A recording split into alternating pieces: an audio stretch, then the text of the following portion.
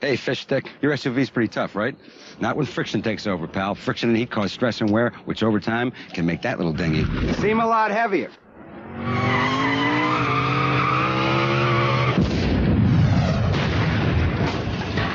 Nice shooting, Tex. You need Quaker State, 4x4 and SUV synthetic blend. It's proven to reduce friction and deliver superior performance under high stress and heat.